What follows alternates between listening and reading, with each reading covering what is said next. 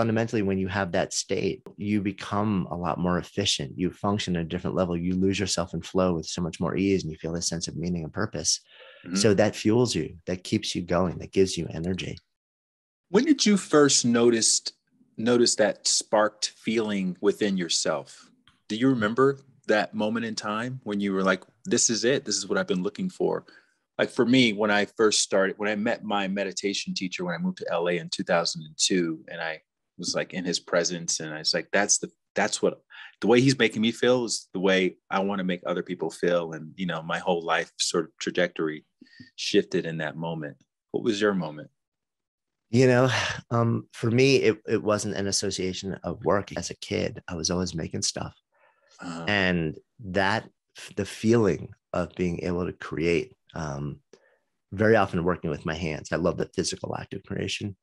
Um, it brought me to that place that I still yearn to go today. Um, and I've since, upon spending a lot of time reflecting and, and deconstructing what is that state, what goes into it, what are the components, realized that, you know, even though I didn't call that work as a kid, nobody was paying me to do it. You know, I was investing effort fiercely, often for days and days and days. I would lose myself. Yeah. Um, and I was working hard, you know. So when I talk about work, also, it probably makes sense to share that um, I'm not necessarily talking about the thing you get paid to do. It's really nice when it is. Um, but um, I use the word more generally as really um, any way that you uh, choose to invest effort, to invest yourself in the process of, of devoting effort. You know, that's work, that takes work. Um, and when we can do that in a way that that makes us feel alive and also be compensated for it, or you know, that's an amazing thing because then it can sustain us in different ways. Um, but so you know, when I talk about you know, I worked hard to make a lot of different things as a little kid. You know some of it i was paid for some of it not. Um, i also painted uh, album covers on jean jackets when i was in high school to make my walking around money in addition to other things. And i would lose days in the basement just painting. Um, and so that state to me is kind of magical. So when you ask me when did i first know? I knew that things like that made me feel a way that i wanted to feel from my earliest memories.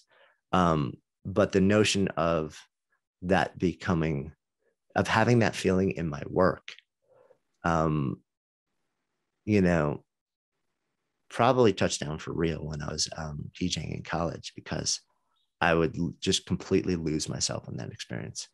Mm. um it was it was a, an incredible thing to do um and that was you know literally like um, that was my work that was my you know I, I was building a company at the same time so the notion that I could potentially have that feeling doing something that would support me mm-hmm. was that was probably like where it really touched down in a more in a way where I would associate those things with each other.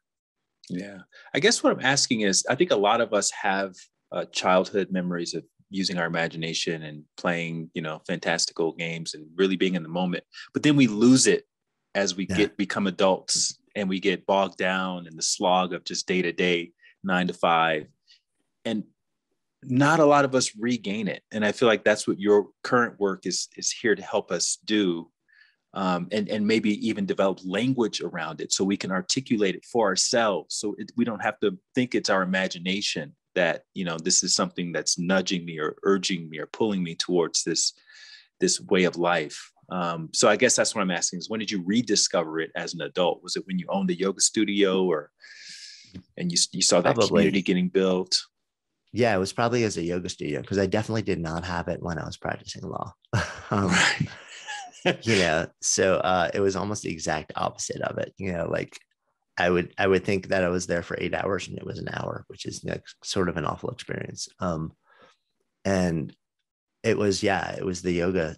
Um, actually, because in the world, like in the fitness world, although that was more of a business, like I learned a ton um, from mm-hmm. building my own facility um, and there was a lot of fun um, but i think really like the deeper sense of showing up and feeling like i'm doing the thing i'm here to do was really probably touched back down in uh, in the yoga experience um, in no small part also because i think part of it is i was you know, it was a blend of entrepreneurship, which I love. It's process of creation. You know, um, it was, you know, I'm every every day because I was teaching. Also, I'm literally stepping onto a floor and I'm creating a moment or experience not dissimilar to way back in the DJ, you know, experience. Right. Um, and and I'm seeing the effect. I, it it took me somewhere. Like I would blink, and I'd you know be teaching a 90 minute class, and I would literally like.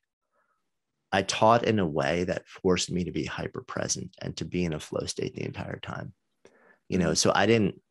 I would teach, and if you stopped me, you know, 48 minutes into a 90 minute class and said, "What are you going to say next?" and and what sequence or or posture uh, are you going to um, offer next to your students? I couldn't tell you.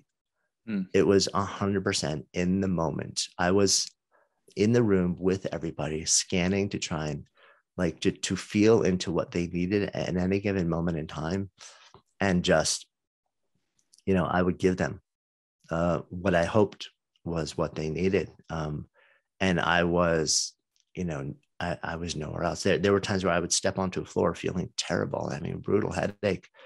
But as soon as I started into class, like everything else vanished away you know mm. i was in that state um, and i would step out then and have to you know like the toilet be overflowing because i was an entrepreneur and like we had three people working there i had to go and plunge it but you know um, it was part of the whole you know um, there was enough of the stuff that was amazing that took me there um, in the context of the reality of you know like building a business. Um, that uh yeah that that was probably the thing that really reminded me of who i was and what was possible like that you could feel this way in the context of the central thing that you do. Right. And talk about the genesis of the name sparketype where were you? How did that name come about? Because that's a freaking genius name man. Yeah you must have been kind of like a, so stoked when you when you came up with that name. It's kind of a fun name and i was actually with um uh i it just kind of dropped into my head and then i ran it by um there's a couple of dads who uh, i was been in a mastermind with for years and um and we always go around like we every month and a half we'd meet and share what we're working on and it's like you know i've been working on this and and they knew i was working on the ideas for it for a long time i was like the name sparketype just kind of dropped into my head because there are archetypes for work that sparks you and they were like oh oh oh oh that. Um, and i was like oh you think it's cool? Um, but uh, yeah and it really is just i got curious about like whether there was a, a um, identifiable set of impulses for work that make everybody come alive. Like you know is, is, there a fairly universal set of impulses? So i started doing all this research around it and, and once i identified those i also realized that each one of them came with its own quirky set of tendencies and preferences and behaviors that formed archetypes. So it's like oh so this is kind of like the archetype for work that sparks you. And that's where it just kind of all came together. I was like ooh sparketypes that makes sense. It's fun and easy too. So uh and then and then the business mind in me kicks in. And it's like, yeah, that feels good. so are you were you one of those what's your astrology what's your zodiac sign type of people or no or have you ever been in that whole no I'm, i mean i'm definitely spiritually curious um, but i'm also like having lived my entire adult life until recently in new york city I, i'm probably spiritually curious and um and also um uh, optimistically skeptical. mm. You know, I always want to know what's happening underneath the hood. Um, and uh, I'm open to the fact there are things that that are true that we can't necessarily explain, but I always want to try and explain them.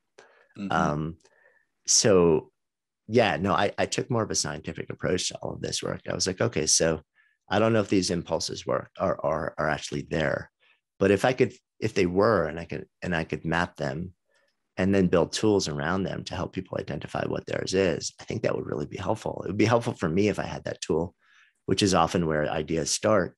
And maybe it'd be helpful for other people. Mm-hmm. So I literally just started with lists of like, you know, like thousands of different jobs and titles. And I kept asking, what are the fundamental ways that we exert ourselves within this role? You know, not the surface level job description, but what are the fundamental sort of like units of effort that go into this? And in an astonishingly fast amount of time, it distilled down to a very small set of these impulses that show up in different mixes in different roles and jobs and titles and industries. And um, I just kept conflating it and conflating it and like distilling it until it landed at 10. Um, I've, I've shared elsewhere. I actually really hate the fact that it's 10 because it feels way too slick. Um, and uh, and you know, the scientist side of my brain like holds open the possibility that maybe you know with more research down the road um, that number will shift. But for now, that's sort of where I've landed. So you've written several books at this point. You've run yoga studios. You've started in other businesses. You have a podcast. You have the adult day camp. Um, where did you find time to sit down and pull out some paper and a pen and whatever you use to record all this stuff. And I mean, that's a pretty massive undertaking. Not yeah, knowing if so it was going to work out or not. Like, what, what was that about? What was driving big, that? It's been a big undertaking for sure. Um, and it's been uh, not necessarily a, a, life that is entirely, you know, like balanced for for windows of that. Um, and uh, and you're but, a dad, you're a husband, you know, so you yeah, can't leave that and, out either right and and those are to me those are my central devotions you know everything mm-hmm. else is is secondary to family um but i think i've just learned to really let go of a lot of stuff that um that doesn't that doesn't call to me um i'm really good at starting things and then the minute they show that they don't have legs or they're not going to make me feel the way i want to feel letting just letting them go mm. um i think you kind of have to do that as an entrepreneur as a founder Mm-hmm. Um, yeah. So so I basically I'm I'm really good at at starting things, trying them, treating them as experiments, and then as soon as they show they don't have legs, letting them go. And and I've done that a lot. But you know, my main company, Good Life Project, at the time, um, you know, it's really been running for almost a decade. Um, mm-hmm. We have good systems, and we have great people, um, so that I have a certain amount of freedom to do other things. And this the work around the Sparketypes became something that I was really just deeply drawn to. So you're sparked. Um, you're sparked to do. Yeah, I was, and and what you know, and fundamentally, when you have that state, you know, you become a lot more efficient. You function at a different level. You lose yourself in flow with so much more ease, and you feel a sense of meaning and purpose.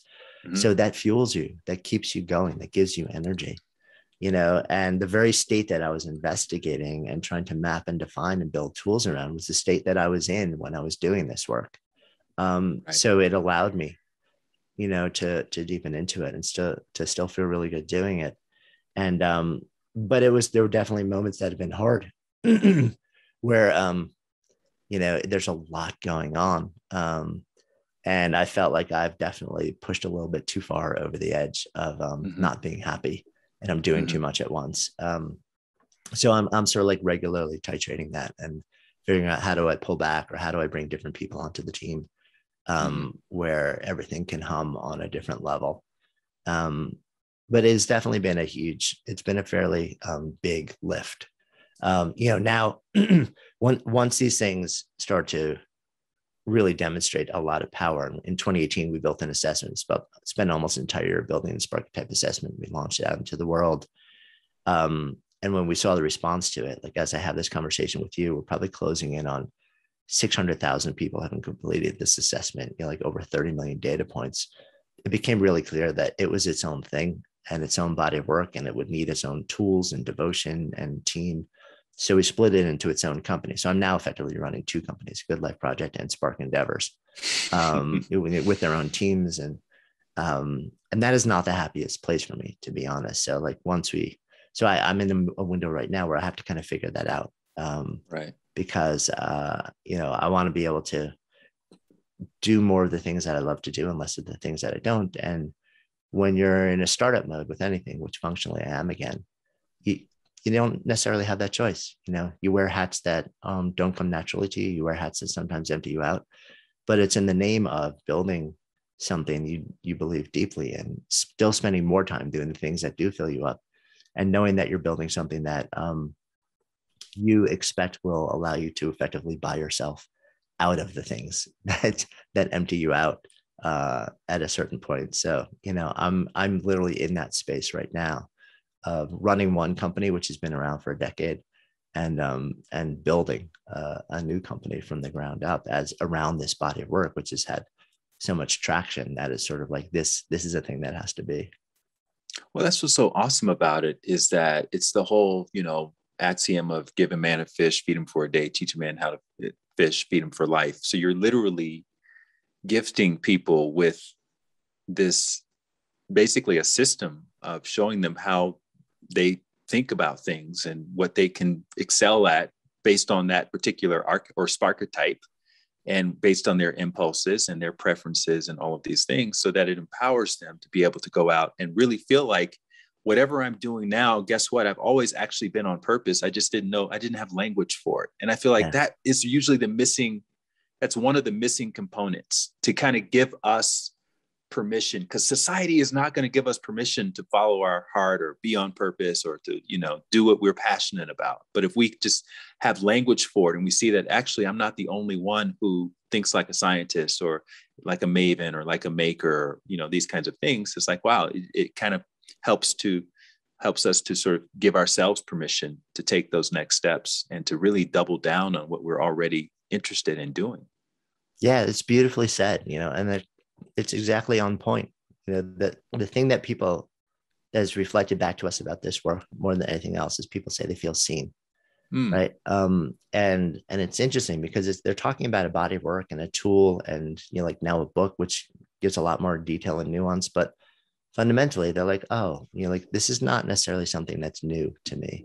But it's it's incredibly validating that it's real and it's true and it's giving me language that describes it in a way that i haven't had before. So i can actually understand this myself on a much deeper level. And also i now have language to share this thing that's inside of me with other people and describe it in a way that's much more articulated and understandable. So people can really understand who i am and how i move into the world and also, it equips me to understand more what to say yes or no to, so that those fleeting moments when I've done things in the past and it gives me that feeling just being utterly alive and in the moment and on purpose, you know, now I have a much better understanding of why I felt that way mm-hmm. and a mm. much better understanding of what to look for in the future um, or create in the future that will be more likely to give me that feeling again. And to me, you know, that's um that's a cool place to be functioning. It's a cool place for me to actually, you know, like be stepping into and building a body of work and building a business and um, and being of service you know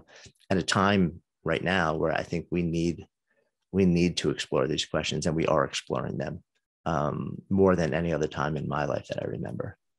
Right. And it's about purpose. It's not like you know you, you read your daily horoscope and it tells you you know you're going to have good luck today. It's, it's not really practical information yeah. but what you're providing us with is very practical actionable executable um, information about what we're here to do. And just to use myself as a case study, I recently redid the assessment. And um, so you go to this website, uh, sparketype.com. Is that the website? Yep. Yep.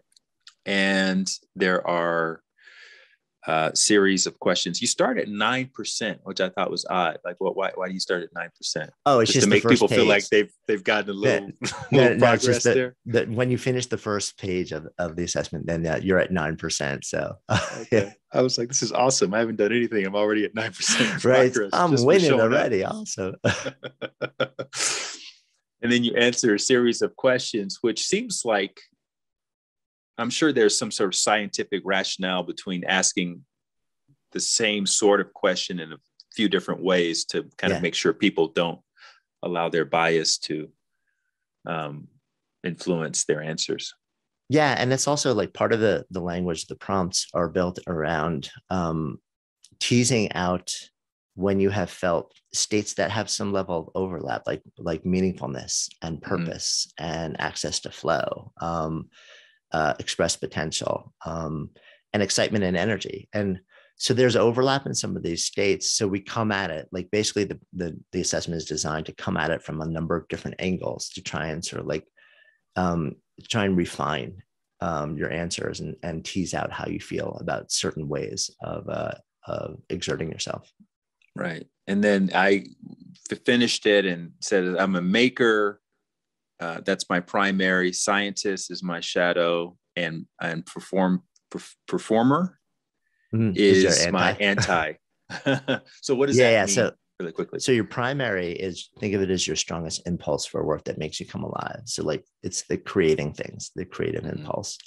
The shadow is not like the Jungian shadow. It's the the impulse that lives in the shadow of the right. primary. So you can think of it as your runner up or right, your secondary. A lot, yeah. A lot of people feel like there's a relationship too, where you do the work of your shadow and because it helps you do the work of your primary better. So for you, you problem solve, you figure things out because it helps you step into the creative process at a higher level.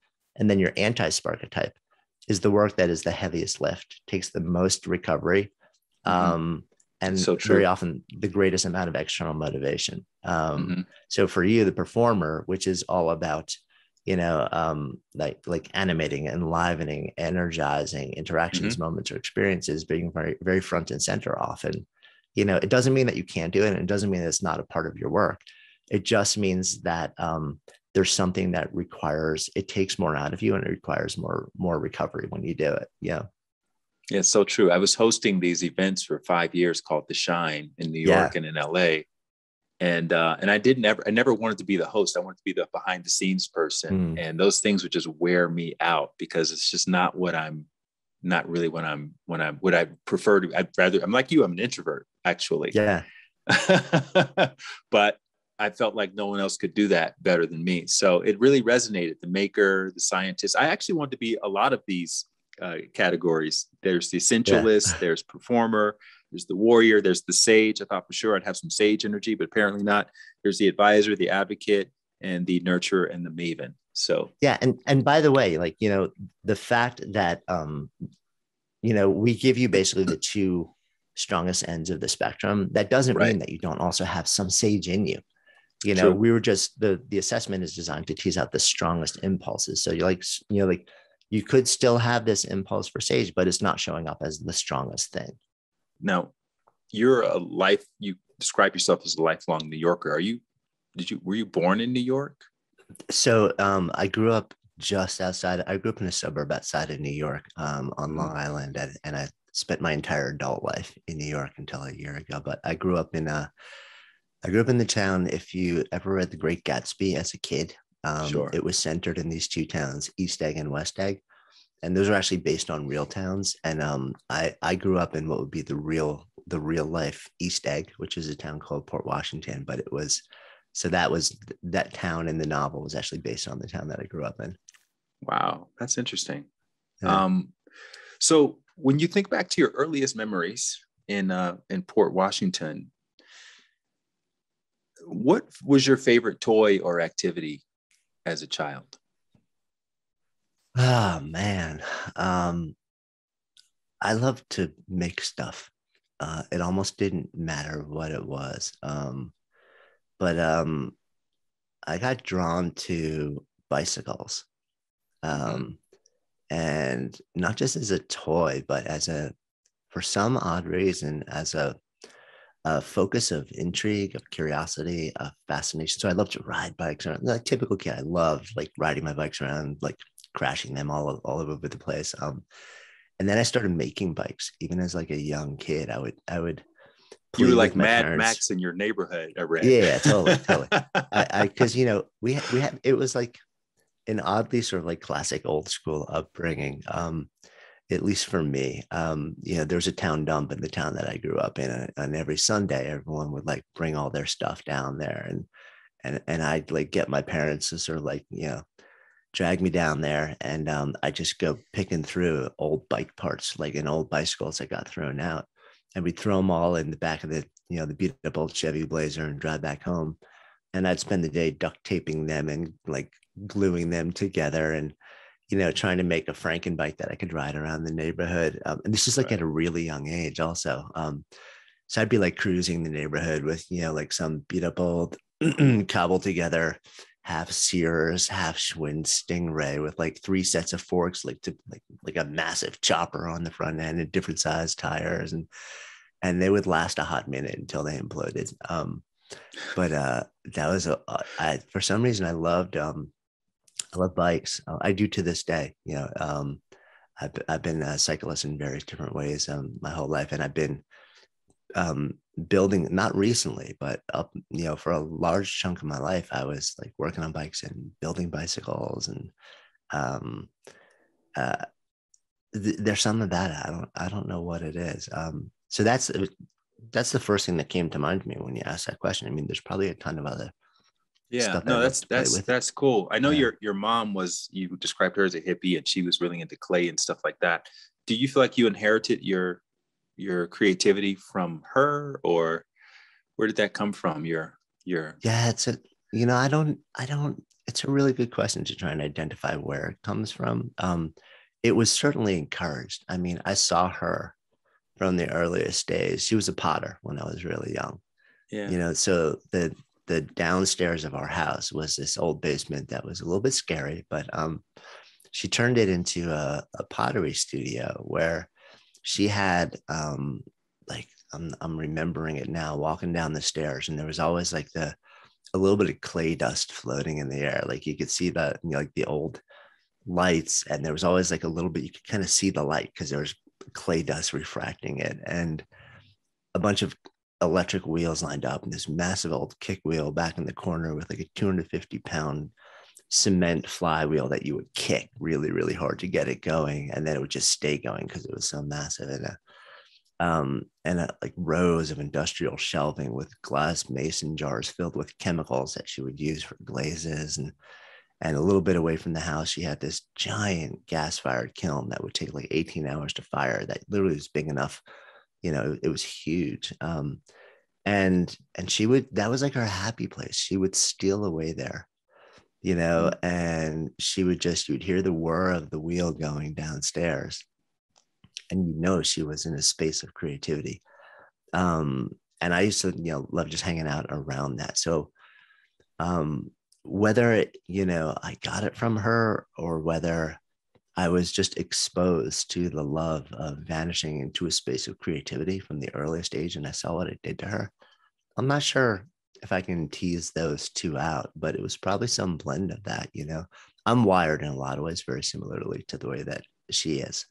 Mm. Um, so you know, to this day, you know, like my mom is still, you know, like very thankfully with us, and um, she has she no longer uh, works with clay, but she works with bees, and she makes the most extraordinary, intricate beaded pieces of. I mean, it's you would you might call it jewelry, but they're like these incredible display pieces that would take months and months and months to work on a single piece.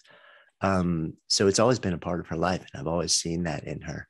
And I, I would have to imagine in some way, shape, or form, it gave me, um, it, it let me see how that can make you feel, and it gave me permission to start to play in that mm. domain myself. You describe your dad as a, a quotes mad professor. What does that mean?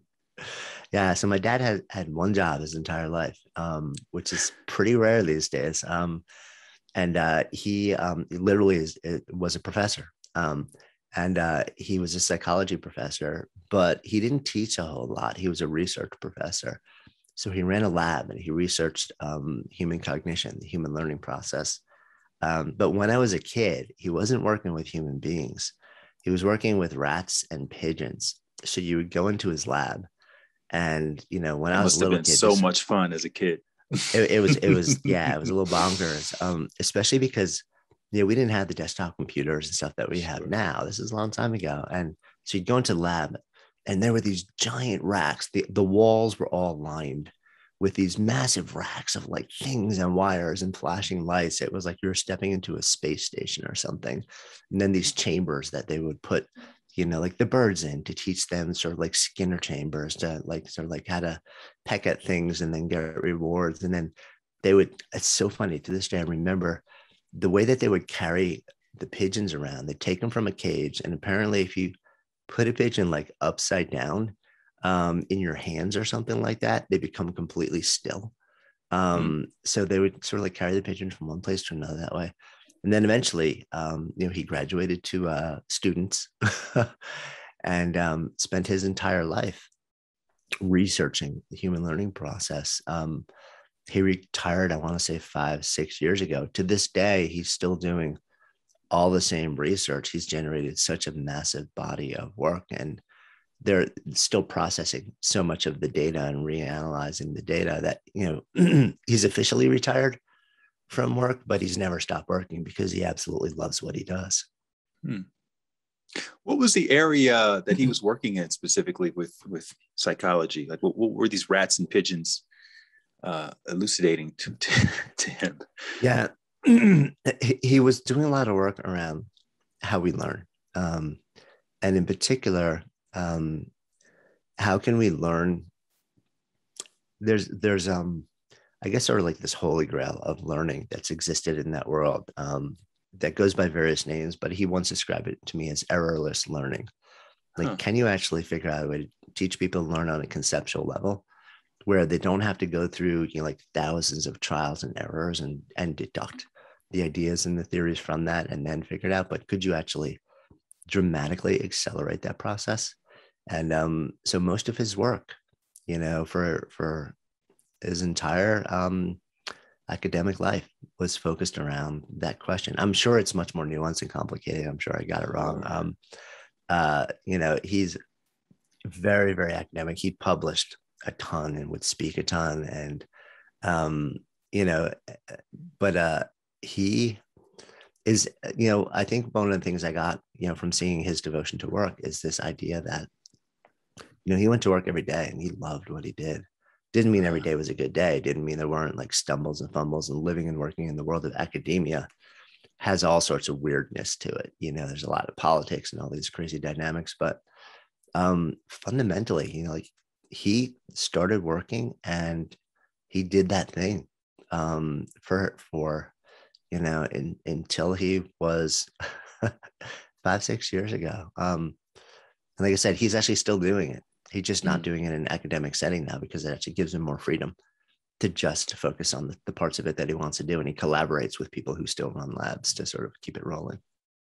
That's so interesting because I'm just imagining now, like growing up in that household with a father who probably is unimpressed by traditional schooling in America and the way it all goes down, and a mother who's an artist and a hippie. And so was what was emphasized the most when you were when you and your sister were were growing up and, and, i guess the question i'm asking is you know a lot of times parents will echo certain mantras in the house to kids this is not important that's important and all of that what what what, what do you remember from when you were growing up your parents would tell you about the world or what to expect or what to look out for and things like yeah. that yeah so i would say my my dad actually probably was um you know, because he came up through um, academia and it was in his, you know, it literally in his blood. He, you know, did his PhD and um, he went to Columbia. And um, so he was, I, I would say he was, you know,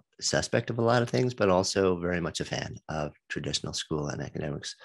Mm-hmm. My mom um, was, it's funny, like if, if you, some people um, would describe these days um, my my childhood as like free range kids.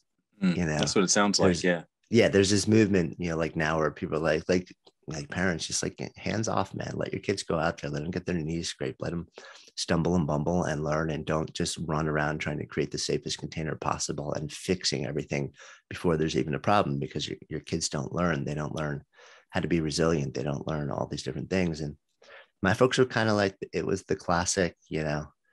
I get home, I'd, I'd, knock out my homework, and then I was outside until the the sun went down. yeah, you know, and I was just doing stuff in the neighborhood. Sometimes good stuff, sometimes not so good stuff, like every kid.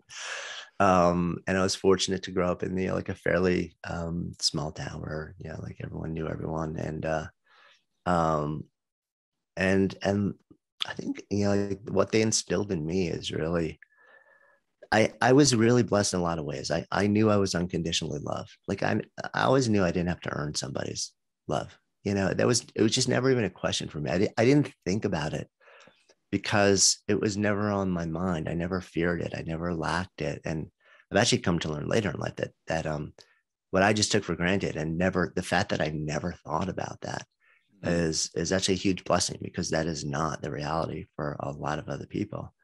Um, and I was given a lot of freedom to be who I wanted to be. That I didn't have heavy expectations. I wasn't being tracked for, you know, like you have to do this, and then you have to go to this school, and then you have to have one of these four types of jobs um, in the way that so many are. You know, I was given a lot of freedom to really just be who I wanted to be and do what I wanted to do um, and stumble and bumble. Um, and you know and and i would have to figure out how to pick up the pieces too um you know we didn't have a lot of money but um we were fine. You know, the town that I grew up in was also a very wealthy town.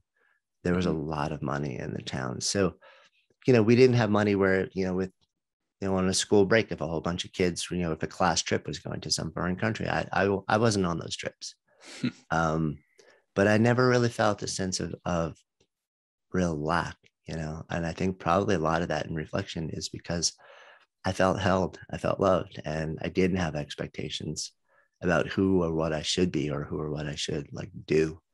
Mhm. Um, and so I, I had a lot of time to play and discover who I was, I think in a lot of different ways. Um, so there was never, there was not a lot of direct transmission in terms of teaching me, you know, like, or in terms of values. But um, I witnessed the choices that my parents made. Um, You know, my mom hung out in a community for a lot of my upbringing of craft people.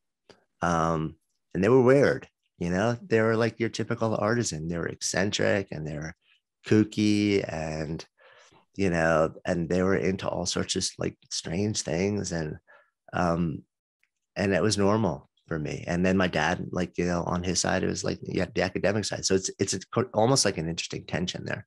Like one is very much more buttoned down and academic oriented and linear, and the other is like the exact opposite. So, Were um, they interested in each other's work? Would your mom ask about your dad's work at dinner, no. or your dad would he would he look at your mom's pottery and go, "Oh, "That's amazing! I really love that." Um, maybe a bit, you know. Um, we made like the family made some of our, you know, like quote family walking around money because my mom would uh, on the weekends she'd take all the stuff that she made and then Right. she had, um, built a whole bunch of shelves and displays and stuff, and we would do street fairs. You know, so she'd bring her wares out to like you know fairs on the weekend, and we'd sell a bunch of stuff. So you know, as kids, we're running around and we knew all the different vendors and stuff like that. And but you know, so it's almost like this little um, traveling family, people who showed up in the same places. Um, Mhm. but no, they kind of they were very very different people um, and lived in different worlds. I mean, they ended up splitting up when um, I was, I guess, junior senior in high school, Sure. um, and um, and and- I think you know they were just they were really um, they're both good people um, and on very different people at the same time.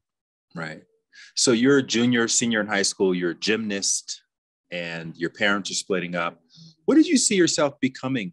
Because I know you went to law school later, but in that moment in time, what did you think you were going to be in the world as an adult? Yeah, law school was a weird left turn for me, but um, we we can talk about that at some point. Um, you know, coming out of high school, I had no sense of what I wanted to be. Honestly, um, I went to college. Um, I went to uh, what was then called SUNY Binghamton, like state school. Um, Mhm. Now it's called Binghamton University. They changed the name, so it sounds much fancier than it is. Um, and uh, I bounced around, I knocked around, I studied a whole bunch of different kinds of classes. I was not a good student uh, in any Mhm. meaningful way. Um, not so much because I didn't have what it took, but because I, kind of didn't care. Um, and I just really didn't apply myself. And also, I have loved music from the time I was a kid. Um, I've had a passion for music. I played music, um, I played guitar. Um, in high school, I was also in a band. So I played guitar and bass and stuff like that. And um, and I just love music of all different kinds. You know, it was always on in my house from Nina Simone to folk music to Country Joe and the Fish to like Bach. You know, to uh, there was everything on the turntable. Mostly And, from your um, mom, your mom playing music. Yeah, probably, probably, Yeah. yeah. Um, man, I can still hear those Nina Simone songs in my head right now as I have to re- remember that. Um, uh, so amazing. And um, so I ended up in college and I didn't attend class a whole lot, but um, I started uh, to become a DJ, um, like a club DJ. Um, Oh, wow. and and then I, I built my own company, sort of like a DJ sound and lighting company there with a partner. So, you know, we were out playing at clubs you know, three nights a week and sending our people around to parties and big events. And we had tons of equipment and giant stacks of speakers and turntables and mixers. Um, so Was this I your got- first your first business, your first venture? Yeah, I mean, I was a lemonade stand kid, so I always, I was always hustling on the side, you know, and I was mowing lawns and doing the landscaping business in the summer, you know, because um, I wasn't given a lot, so it was like if I wanted something, I had to earn my own money, um, Right. and I and I wanted stuff, like I like nice stuff, Yeah. and I have since I was a kid, Um, so it was always up to me. And uh, but that was my first like legit business business. Um, yeah. It was also the first business that I sold. So when we graduated, we sold the company to um, some incoming freshmen, kind of like handed over the keys and we're like, hmm, that's pretty cool. So you can build something that's got so much value, you can exit it. But um, but fundamentally it was it let me create something which has been an impulse of mine, you know, shown up in so many different ways. And then uh, it let me wrap that around my love of music and technology and equipment and things. And also, um, you know, the the art form of uh, DJing, not not radio DJing, but like club DJing. I mean, yeah. it is a, it is a real art. I mean, now we know, you know, you've got like Skrillex and like all these people who will have yeah. ten thousands and thousands of people, like you know, EDM concerts. But back then, it wasn't really, I think, given its due. Um, but it is a true I'm, art form. What What did you learn about people from DJing that you oh, didn't man. know before you started DJing? Yeah, this was like one giant petri dish three nights a week. like it was my experiment in human and social dynamics. It was incredible because I learned really quickly. I was like, for I could go for four to six hours, and for that entire time, I could literally control the interactions and the social dynamics of you know three, four, five hundred people. Um, and we would get past notes all the time. Hey, dude, play a slow song because I'm really trying to. and and you know what I learned, I always knew that music affected me in a really deep, emotional, visceral way. But mm-hmm. I saw how you could literally craft a sonic landscape that would affect the physiological and emotional states of people at scale and take them on a journey that would just like you could literally be like okay so this is the moment in the evening where people's feet are no longer going to be touching the ground. Like uh, it's mm-hmm. liftoff time mm-hmm. you know and you're like i'm going to take you to a place where like you're no longer in the club. You know you're just, you're just somewhere else. And we've all felt that right? Like we've all been on that dance floor at 10 in the morning and you it just it didn't matter where you were. You were somewhere else. And to see how you could literally craft and weave like this this sonic narrative where you know you had hundreds of players and and a container that you also wanted to be alive but also safe um transcendent um but also bringing people down at the right moment so that they could mm. kind of like catch their breath and touch back in and and make intelligent choices about what they were doing the rest of the evening and um, there was so much it's funny i've never been asked that question um, but i've thought about it a lot because i sometimes find myself reflecting on those times and i'm like this was not i mean it was crazy fun for me i loved doing it i felt like i was an artist behind the tables um, and I also learned so much about human beings. And there's another layer to this, which is that I'm introverted. Mm-hmm. You know, I love people, but uh, I'm, a, I'm on the quieter side. And I love people sort of like in quieter elements. And by me stepping into that role, I could be surrounded by mass, you know, numbers of people. Um, but I was in my own like special place and I felt really good. So it was a way for me to define a role that allowed me to actually be immersed in the culture of the students and the school, but also carve out a way from for the introvert in me to kind of like be cool and have my own protected space in that domain. Hmm. Okay, so um, how, how are you thinking about success in those days? If you can remember being in college, because I remember when I was in college, you know, that was back. You were probably not too far ahead of me where people were going on Wall Street and working in investment banking and you know yeah. doing that whole thing. Wall Street, the movie was had been out, and so um, my dad was an entrepreneur, so he always talked about owning your own business, and so I, in my mind, that was the pinnacle of success, owning ownership and that kind of thing. What what was your idea of success at that time? You know, it was probably money. Um, as odd as it sounds, based on what I've just shared about my upbringing, um, it was that exact time. It was like you know, I I grade you know. I was in college in the mid 80s. Um, mm-hmm. So I graduated in 87, and that sort of like pushed me out into the world where it was like, you know, back in the time where they called it the go go 80s, you know, Wall Street was just everything. Like you said, the movie Wall Street, Gordon Gekko greed is good. Um, and and I was you know like uh, I grew up outside of New York, but um, you know around the city a bunch, and um, and I think probably because it started to probably dawn on me then in college that I liked making my own money. I liked running my own businesses. Um, and I wanted more of that. Um, and um, and I, I liked what money gave me. And I and then I started to see a lot of what was happening in the world, especially of finance and the stock market. And I was like, huh. Um, I'm really interested in that. Um, I didn't study it in undergrad because I had no idea what I wanted to study because I basically never went to class. Um, uh, so I ended up majoring in poli sci literally because I couldn't figure out anything else to do, and I cobbled together enough classes to call it that. Um, but I I got out of school. Um, I really didn't have a sense for what I wanted to do, but I, I felt like I got swept up in the energy of the day. And I, I was like, huh, Wall Street sounds really interesting. Money sounds really interesting. Um, I took a little bit of time off um, between undergrad and then eventually um, I was, I, I took my money actually from selling the business and I vanished into Australia for three months. Um, I threw a backpack on.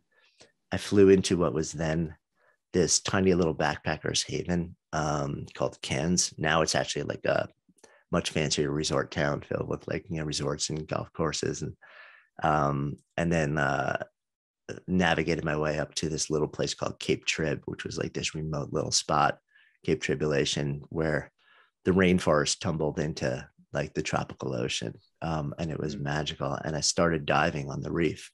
Um, and uh, which is scuba diving there um, and hosteling my way down the coast for three months. And I came back with like, you know, $3 in my pocket basically and went back home, started doing outside sales and uh, realized I am not a good salesperson.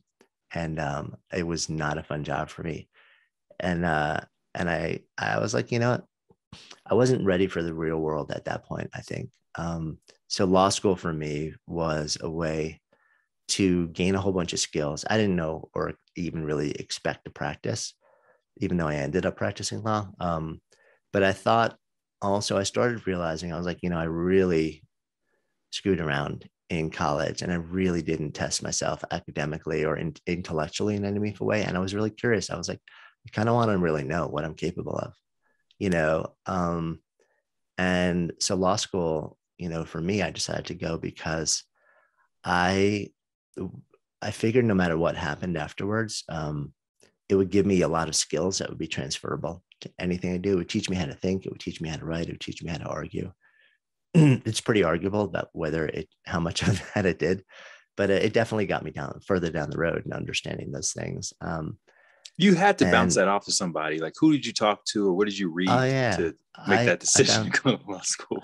So I bounced it off my parents, and up until literally almost like the week before I went, it was a choice between law school or physical therapy school. Because I'm also very, it's I know it's bizarre. It's bizarre. I'm very somatically wired too. I have a deep fascination with just sort of like human beings, how we live, how we move, and also the body.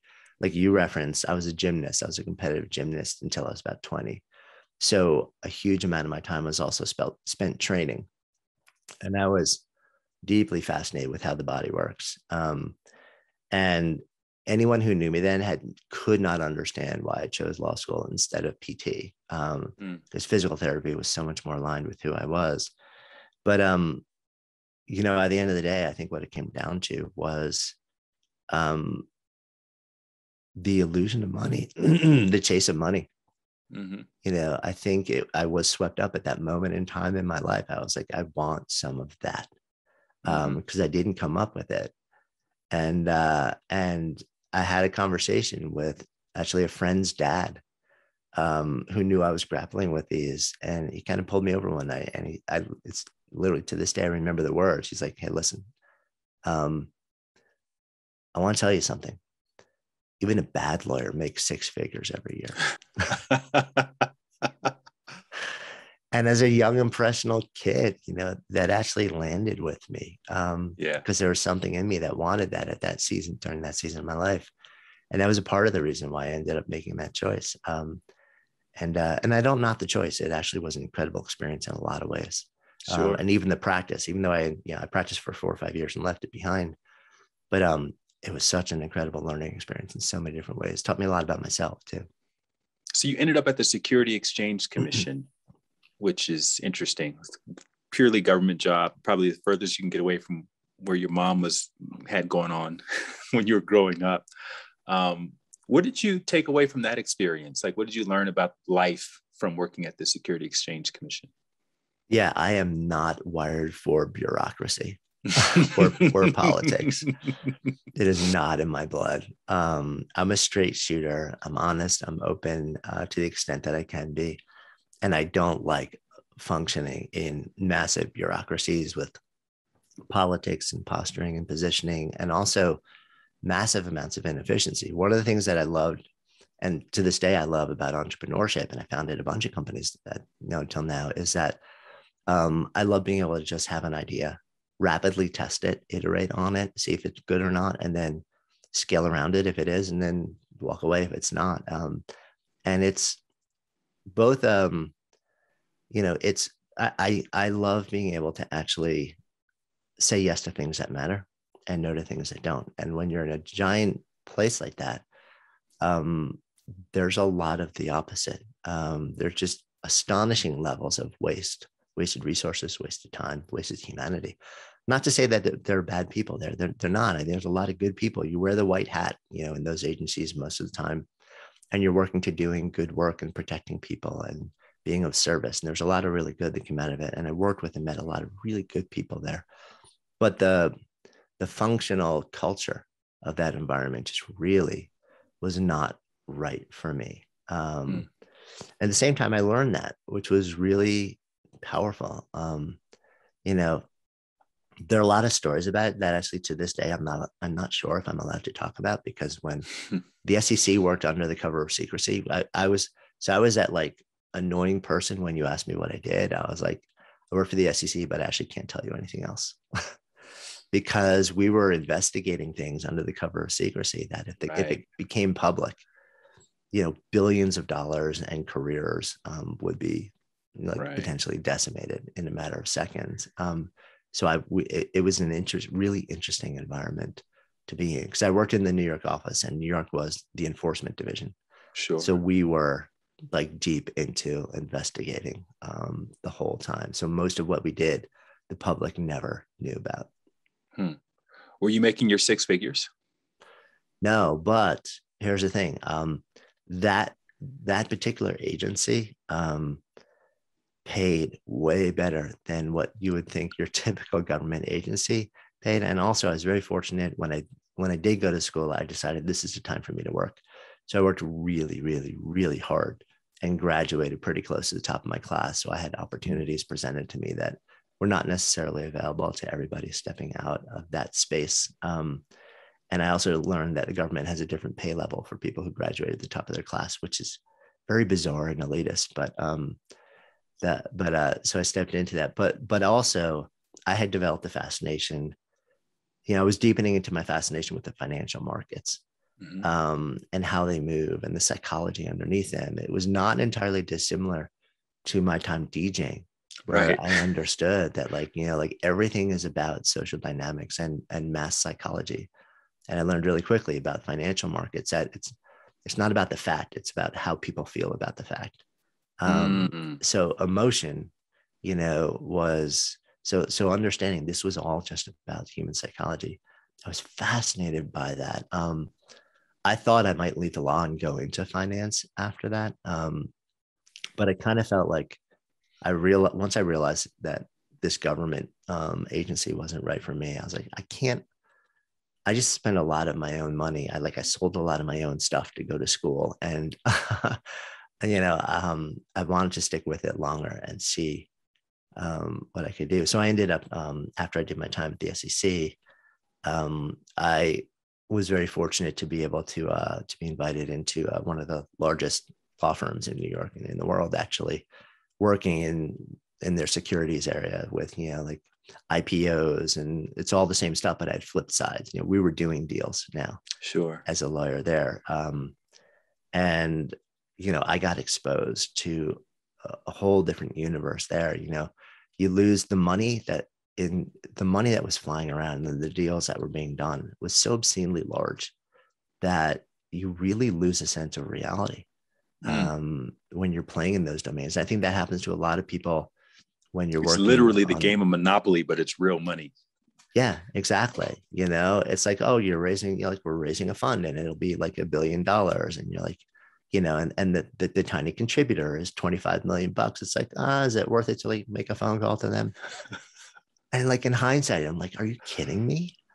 Like, like it's just so bizarre and so warped in so many ways. Um, but that's just the world, you know. And I was swept up in it for sure. Um, until that career basically like shut shut me down physically. So yeah, you had some uh, immune problems or something like that, right? And you're like 30, 31 years old. What was that like? Because now I'm sure you're making your six figures. Oh yeah, and you're seeing yeah. all this money. But how do you feel about yourself inside and physically Terrible. and mentally? Yeah, I'm I'm crashing inside. I'm hard, and you're right. I'm making my six figures. I'm wearing my like really fancy suits. I've got the business card that everybody wants. Um, I'm. Do you I'm still have the seeing... gymnast body? You still have no, I'm a I'm a physical wreck at that point. oh, wow. Because I'm not leaving the office. Like I'm I'm basically working like 100 hours a week. Um, because when you know you get paid what I was getting paid, essentially you're turning your life over. Um, right. especially in the early days, sort of like you know that's you earn your chops, you know. Um, and no, within a matter of weeks, I was put on a deal, and uh, and I barely went home for probably three weeks I was living on, you know, like chocolate, um, caffeine, and takeout, and um, and I was a physical and emotional and psychological and probably cognitive wreck. But wow. this is just kind of what we did, you know. This is it's a day in the life, um, and you you do it in no small part either because you love it, which wasn't me, or because you got your eye on what you hope is sort of like you know the carrot that's being dangled which is partnership 10 12 years down the road and i could care less about that I ended up um, in such bad shape that um, I was doing this one deal, and two three days before, um, I just felt this pain in the middle of my body, and I just ignored it, and it got worse and worse and worse and worse until I could barely breathe. I was doubled over, but I'm still working, and nobody's paying attention because everyone's in their own, you know, like hazy space. And we we kind of hit the button on the deal, and um, I went home I went straight to my doctor after passing out for a little bit. And then he looked at me and kind of turned a little bit white. He's like, there's something large inside of you that wasn't there a few months ago when I did your physical. Um, took me to an infectious disease guy. Within a matter of hours, I was checked into the hospital and had emergency surgery because I had a huge infection that had mushroomed into like, you know, like a baseball sized thing in the middle of my body um, and ate in a hole through my intestines from the outside in. And um, you know, it's I, I, think the assumption back then was, you know, I think you probably had an infection brewing in you for a while, and your immune system basically had nothing left because your body was in such bad shape. So it just mushroomed into this thing. Um, and uh, thankfully, it all went really well. But I knew at that point I was on my way out. Um, um, but I didn't leave for the better part of another year because I wanted to figure out what the next step was going to be. And as I started to realize I was going to go back into the world of entrepreneurship and and movement and well-being and sort of human potential, I also realized that uh, I was going to start over and very likely either make nothing or make all very a very small salary, especially compared to what I was making. Um, so I was working almost entirely just to make plans and bank money and give myself a cushion for the next step. This is the craziest part of the story to me. um, because I think it would just be unfathomable for many people to leave a high paying job where you're literally toying with billions of dollars to becoming a trainer at a gym for $12 an hour. Yeah. that hurt. so what did it your my ego get, more than anything? Did you else. get pushback from your colleagues, your friends, your parents, and anybody? Who were your supporters? Who was who was who were cheer, who was cheering you on, and who was like pushing back? Yeah, that, you, that made you um, really second, you know, like re, rethink this plan. Yeah. So my wife, um, you know, and our our relationship was very young then. Um, stood by me. Like we started dating when I was just graduating law school. So, mm. you know, she she starts a relationship with you know like a rising like lawyer in the New York world of you know like finance and that, and all of a sudden yeah. it's like uh, I was making 12 bucks an hour wearing running shoes, tights, and a radial t-shirt and run and playing with people in Central Park. um, but she was there for me, you know, and my family was was there for me too. I don't think they understood what was going on with me. Um, but they gave me space to work it out. They weren't like pressuring. They weren't like like you're making a hard, you know, horrible decision or, you know, again, it was one of these moments where when I reflect, um, unlike so many other folks, I was in such a fortunate place in that my parents, who I who I love and I'm close to, did not just really place all of these expectations about what they thought was the appropriate decision for me on me. They were kind of like they told me what they thought, um, but they were also like, "It's your life, you know, um, do what you got to do," and and that was a great gift you know, um, for sure, uh, a lot of my friends who I went to law school with could not understand because um, I literally had the job that so many of us had worked so hard to get. Um, right. And it was not an easy job to get. And um, there was a lot to it. And um, so when I walked away, especially not to go to another job or not to become general counsel there, not to go in house with the client, which is what most people do if they leave and sort of like a mid-level associate, um, which which is what it was. But literally, like my departure memo, which got sent around the firm because every time someone left, you sent a departure memo around. It was like if it effectively said, "Hey, I'm leaving uh, the law firm, but I'm also leaving the practice of law to um, go lead people up mountains and take them mountain biking and play with them in the park." Um, and the hush talk from the people who were at my level in the firm was not kind. Um, mm. But the private notes that I got from people like senior partners in the firm, which basically said, God bless, go do this, do it now. Mm. That was really strong validation because these were the people that all the younger people were working to become. Right. And then some of those people were saying to me, you know what, man, go do this thing now. This is your choice. Like, I don't know if it's going to work or not, but this is the moment to try. Mm. Um, and, and I think that helped bolster me a chunk, but it was still, there was a, there was a you know there was a minute of really wandering in the dark and wondering what I was doing and you know waking up certain days and being like am am I completely like is this in any way defensible? Um, right. um but I had planned for it you know like I knew I was going to go into a space of uncertainty and have to learn something from the ground up. So I went to the fitness industry was my first step out um because I think it was you know, being so somatically oriented and having abandoned it um, during my time in the law, I wanted to get back to it personally. Um, and also, I was, I was really curious about the business and what was working and what was not working, and um, and I just had a really strong sense that there was a lot that was not working, and there were a lot of people that were not being served, and that there was a mm-hmm. better way to do it. Um, and I wanted to learn it from the ground up. You know, I could have, I'm sure I could have found my way into a, a management level position in the industry and started there. But I wasn't interested in that. I wanted to learn what was happening on on the fundamental point of contact between you know like a, a one human being and another, um, and on the floor of a gym, not too dissimilar to the floor of a dance club. Right? There's a lot of mm-hmm. threads that weave together. You know, mm-hmm. there's this big social dynamic. Um, you know, it's it's humanity. It's all different parts of humanity mm-hmm. unfolding. Um, and I wanted to learn that. so I was okay, um, you know, doing the $12 an hour thing just to learn this from the ground up. But my ego took a little while to um, be okay with it.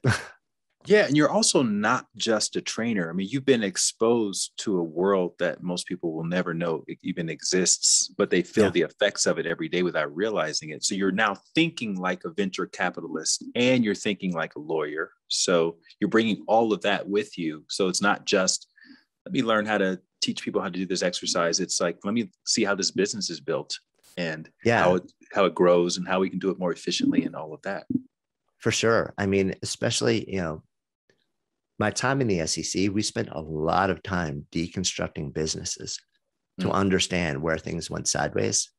Um, and that blended with my own experience with my own businesses, um, it allowed me to see a lot of different things. And, you know, stepping into the floor as a personal trainer um, with a background in law and finance, when a lot of the clients who can afford um, that level of service have similar backgrounds, it actually gave me a really interesting competitive advantage because mm-hmm. I had I could have conversations and rapport with many mm-hmm. of my clients about things that were really unusual for somebody. It must have been space. shocked that you knew some of these yeah, things.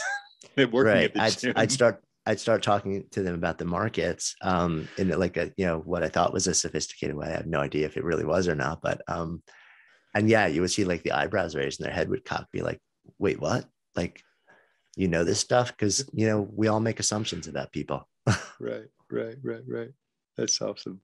All right, so I want to flash forward a bit. We don't have to get into so many details around um, what happens next. You sold, you sell your your help, your wellness business. You leverage that.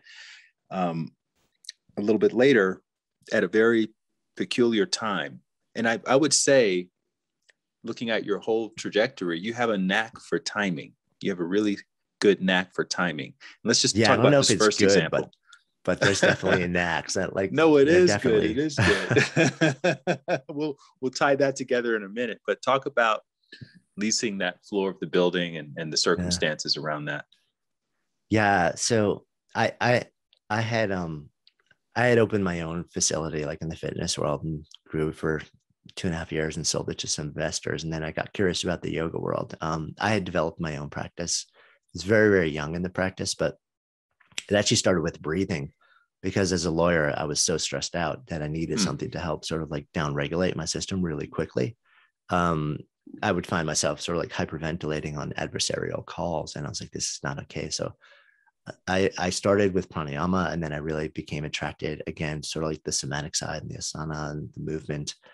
And um, I got curious about the business as that's just kind of the way my mind works. Um, sure. And I scanned the universe in New York and I was like, oh, there's a lot of great studios back then. I mean, it's nothing like it is now. Um, but also a lot of them were steeped in certain parts of tradition that were very off-putting um, to people who were not yet a part of the traditions. Um, and I wanted to create something that was different, something that was accessible. Um, mm-hmm. So I got this idea in my head. Um, uh, I'm walking by a space a couple blocks from where our apartment was, then in Hell's Kitchen, New York, and uh, it looked like literally like a bomb bombed out sort of like you know floor in a 115 year old building. Um, but i looked inside i was like oh we could turn this into something really cool. So i signed a six year lease for that floor in a building three blocks from our apartment um, new home married three month old baby. And the date i signed the lease was uh, september 10th 2011 it was the day before 9-11 2001 um, 2001 yeah sorry. Mm-hmm. um and uh yeah woke up to um you know the the awfulness on every level. That was 9-11 in my city in new york city. Um mm-hmm. you know uh at least one person um who was a friend who didn't come home that day. And um it was a really powerful moment for me because it really brought home the fact that we have no promises right. you know? Um and and and immediately I was wondering like who do we know who's in the towers? Um because pretty much every New Yorker like knew somebody. Um yeah. and and then I was like am I really going to launch a business into this? You know um I got a I got a family. And and and I I need to do what I can to take care of them emotionally psychologically and financially especially then. Um but the moment that knowing that I knew somebody who didn't come home um, and the the devastating effect it had on their family. Um, that was it was one of the things that, along with a bunch of other just emotions and feelings and experiences, um, really reminded me that um, we just have one pass through, and I wanted to make the best use of my time. And to me, opening a business that was not just a business but was a place of community and healing and breath and movement um, was the thing to do um, as scary as it was. I mean, it's scary to launch a business in the best of times. It was terrifying to launch it then, and but we did. Um, and eight weeks later, we launched uh, the center, and we just sent. I mean, people were walking around then, literally, um, were literally just wandering around the streets in a daze, in a complete and utter daze. Nobody knew what to do. People just wanted to do something to help and to feel better, but nobody knew what to do, you know, and the smoke still filled the air all the way up to Midtown.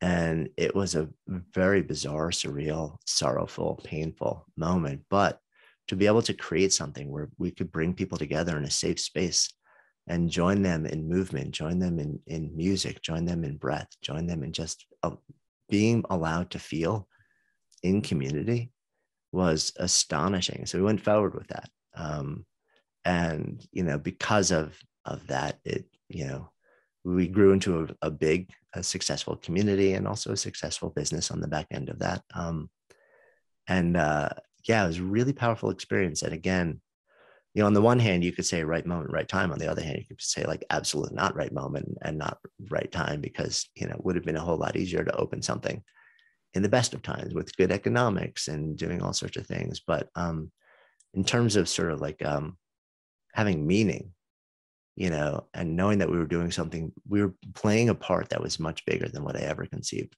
In, you know, it, it was a really powerful experience um, that that has really stayed with me in a lot of different ways. Yeah, I mean, I think that experience. I was living in New York at the time, and I was mm. I was uh, about three or four years into my yoga practice at the time, and I remember there only being a handful of yoga studios. Yeah. There's Om, there was Jivamukti, Jivamukti, yeah. Uh, you know, I don't know, maybe a couple of others. I was going to Equinox a lot, taking their yoga classes. So I remember when Sonic opened actually, and yeah. um, and i feel like that experience it reintroduced new york city to community to to connection with one another people were all of a sudden very friendly with one another and so i think that you know for the purposes of building a community that you really can't get a better time than people actively seeking out you know, I need to know who my neighbors are because I was in their living room during 911 and I didn't even, never met them before. And, and, you know, we just were just started talking and, and asking each other how we were doing and, you know, things like that. So, yeah, I mean, it's, it, it's interesting because reflecting now, um, my experience of that moment was the, the six months or so following it. I mean, I was in my own altered reality. I was like launching a business and trying to be there for my my wife and, and baby girl at that time. Um, but also there was this profound sense of, brotherhood and sisterhood and fellowship um, and just wanting to take care of each other that lasted, you know, for three, four, five, six, seven months. Upon reflection, I've since learned, you know, like while that was my experience, that was not in fact the universal experience. That, you know, if you didn't look like me, if you uh, were a Sikh, or if you appeared to present in any way, shape, or form to be uh, Middle Eastern, mm-hmm. um, that you became an instant subject of violence mm-hmm. um, and, and of ostracism. And, you know, my experience of profound both sorrow, but then also fellowship um, and, and, and open arms and shared humanity. Um, I've learned since then, you know, like for, for others, it became an absolutely terrifying, um, for very good reasons, time to be in this country. And, um, you know, I was blind to a lot of that um, for a long time. Um, there's really um, a, a, conversation and, and sort of like seeing the work of Valarie uh, who helped open my eyes to a lot of that also, um, who, who uh, grew up as part of the Sikh community, Sikh faith. Um, and, um, you know, sharing the experiences uh, and then hearing the news stories, which really didn't land then. Um, but upon reflection, I think as I've sort of expanded my my intentional reexamination of sort of like my place uh, and and what society really is and isn't all about. Um, yeah, I, I have a different frame on on mm that time now. I, I know what my experience was, but I also know that that was not the experience. You know, it was profoundly different depending on who you were. Right and you went ahead to sell that seven years later you you in the process you innovated video yoga and all these kinds of really yeah. cool things and started good life project you have mentioned that you started thinking about sparketype uh, decades ago so when yeah. exactly did that first bubble up in your awareness Yeah, I think it was actually 9-11, to be honest with you. Um, I think it was that moment when I started, you know, asking the big questions and saying, you know, um, and realizing how important it is to use whatever time we've got and and realizing that, you know, most of our time for most of us is going to be spent working. Um, uh, depending on who you ask and depending, you know, like on who you are, you know, mm-hmm. you spend something like a third of your life sleeping. Uh, a third of your life working and then a third of your life doing random other stuff.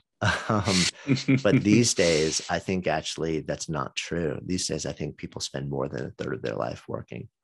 Mm. Um, I think you know the the the average work week has gotten expanded pretty substantially. Um, there's a um, you know very little differentiation. There's very boundaries have kind of fallen away with the connectivity and technology.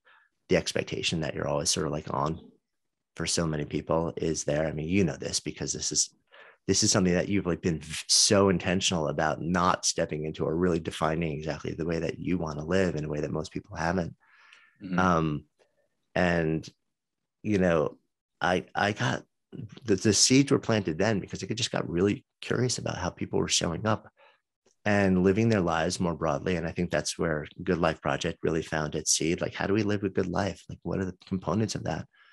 But part of that was always work you know and really so the seeds were planted back then and but i've really focused in a lot more in the domain of work probably in the last five to ten years and really kind of said okay so what is this thing called work and how do we how do we both show up and contribute it to the world in a meaningful way but also do it in a way that gives us back a sense of meaning and purpose and access to flow states and feeling like we're fully expressed and we're excited and energized to do the thing that we want to do you know, because if you look around and you ask most people if they feel that in the context of what they're doing, the answer is no. Or if, right. if, if it's a yes, it's like a fleeting thing. Um, and they felt it here, they felt it there. They don't know why, and they have no idea how to repeat it, how to replicate the feeling, let alone like the notion of making it a sustained thing. And, and for the few people that do, um, it usually comes from a place of profound service and sacrifice, which can be really, really important. Um, but there are also other ways. Um, we we all access that feeling, that state, in different ways. And I got curious about it, you know, because I would, you know, know an artist from, you know, who is deeply, deeply fulfilled and they basically exist in their own creative cave and they're not like in their mind they're not like ooh i'm making art to be of service to this person or to this community yet they mm-hmm. are utterly um, alive and and they have a profound sense of purpose. And i was like we're missing pieces of the puzzle. You know what are what are like the, we've got like little little drips of answers um, but there's got to be more. And that you know it uh it sort of started to form into a bit of a quest over a period of years great detail. I love that. I loved also, I, I did the audio version of the book. At the cool. end of the audio version, you have those personal testimonials, which I found yeah. really, it kind of tied everything together because the book itself, it's, it's very categorized and you, you go into detail about each one but to hear their personal stories and testimonials was really beautiful. So thanks for adding that bonus content to the book. Yeah, that was really fun. I mean, literally like the week before we put it out, I was like, wouldn't it be cool to just reach out to a whole bunch of people who are in the book and get quick updates from them? You mm-hmm. know, and and so and you and you hear it on the tape, like this is not a produced thing, you know. Right. Some of them are literally like speaking into their voice memos, walking down the street in Brooklyn. Some of them I was able to get on the phone, but it's all it's real, you know, it's real human beings with their real stories sharing their updates. And it was really fun to be able to do that. So yeah, yeah. So thanks for that. Um, last couple questions. Number one is um, how are you thinking about success these days, Jonathan, after all these experiences? yeah. Um, meaning and love, meaning and love and being present, you know, in, in being present in my life and being present in the lives of those that I, I cannot get enough of. uh-huh. And, uh, and what's now that you, this is, to me, it seems like this is your life's work. You've been working on it for a couple of decades is this are you working on some other expression of sparked or is the book and the website and all that kind of where you are for right now? Yeah no we're definitely growing. Um yeah because because when the when the assessment came out everyone's like give me more. So now the and and you know from the giant data set, we had then a mountain of stories come. So now like all these like stories and um, observations and applications and use cases, and that all ends up in the book because it needs a way to get out of my head. mm-hmm. um, so then beyond the book, though, um, yeah, folks are still saying, get you like show us how to actually, in a practical way, integrate these things into our work, into the, the choices that we make, into for organizations, into leadership structures and training and things like that. So yeah, we're we're in um, hardcore development mode with sort of like the next evolution of ways to help. And what's your archetype, your Sparketype? I'm my the the same as you on the top side. So I'm a maker scientist also. Okay. But on okay. the my anti is essentialist, which is all about creating order from chaos, systems and processes. That work, I love the fact that um, we have people on our team that do it, um, and yeah. I'm so happy. Like that work kind of makes me want to cry. yeah, well, look, man, I'm looking forward to Sparketype for meeting your soulmate and Sparketype for dating and right, yeah, the single Sparketype app to match you up with with uh, another maker or whatever you are. And uh, and I love the fact that we went to. I wasn't. I didn't. Had, I hadn't read about the DJing experience, so I love the fact that we we uh, hit on that because it did tie into a lot of the things that happen later. And I, I often find that what hap- what people experience as children, as young adults, will often play a role in them finding their purpose. For those of us who have identified a purpose or a passion, and um, and so I just want to acknowledge you, man, for uh, this breadth of, of work that you're gifting to the world and uh, helping us make sense of things. And just thank you so much for all the leaps of faith that you've taken that have gotten you to this point. And um, just honored to call you a friend. And so thank you ah, again for coming you. on to the show. If you like that video, you're going to love the next one. Click this thumbnail right here, and I'll see you over there.